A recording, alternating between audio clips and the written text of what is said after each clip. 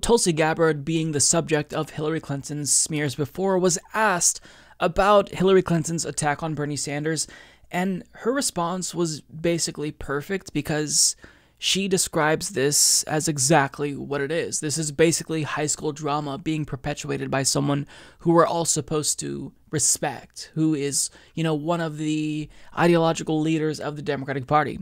But um, here's what she said about it. This is just, this is great. Look, it's time to grow up. You know, this isn't high school. Uh, we're talking about real challenges that our country needs to address and the need for real leadership to focus on them not on what's going on in Washington and the schoolyard cliques or whatever else it may be. There are real issues that people are struggling with, and they're wondering why are our leaders not working for us? This is why I'm running for president to change that because Washington is so disconnected from the reality of, of what people are dealing with every day. There, there are people dying because of this opioid epidemic every day. This is what our leaders should be focusing on, among many other issues. That was absolutely amazing. And that's like the way that you should respond to Hillary Clinton. Like the petulant child that she is. It's time to grow up. This isn't high school. Nobody cares about your cliques in Washington, D.C., and that Bernie Sanders wasn't part of the club. Nobody gives a damn about that. What we care about, and the reason why you're in D.C., is not to make friends with the other politicians, it is to codify policies into law and um, help the American people. But I mean, it just goes to show you that all these politicians are so self serving and they don't care about the American people. So, look, I've had my criticisms of Tulsi Gabbard, and I still have very, very strong policy and uh, you know strategy and even ideological disagreements with Tulsi Gabbard. But I believe in giving credit where it's due. This is great, and lately she's kind of been on a roll after going down in my book. You know, based on policy decisions that she's made, and you know, appearing on Breitbart and whatnot.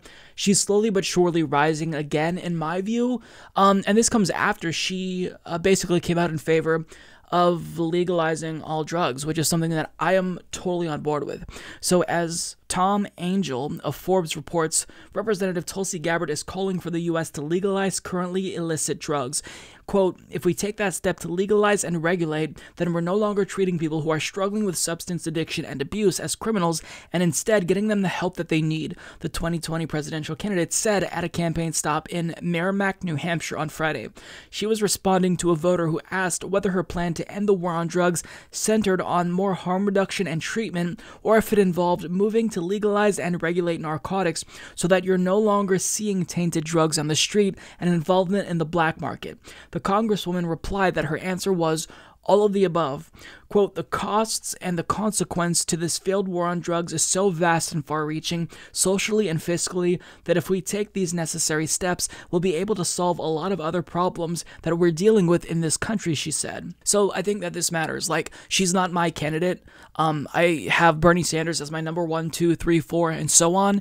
But I think that, you know, making these types of um, policy decisions, choosing to advocate for things like this, it does shift the Overton window to the left, which is what I really want to see happen. It's why at the beginning of this primary, I donated to Tulsi Gabbard. I donated to Andrew Yang. I donated to Elizabeth Warren. Like, I donated to all of the progressives because I wanted to make sure that we had the furthest left conversation, you know, in this primary as we possibly can, uh, could have had. And now, you know, it's clear that uh, centrists once again have dominated the conversation in spite of that effort.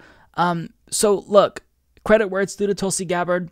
Um, she hasn't fully won me back yet, but she gets a high five for, as of late, making decisions that I actually applaud her for. Defending Bernie Sanders, I think that even though ideologically her and Bernie Sanders are a lot different than I initially thought, I think that for him to come out and defend her against Hillary Clinton and for her to do, do the same, there is you know, th- there are benefits in having a political alliance, if anything else, right?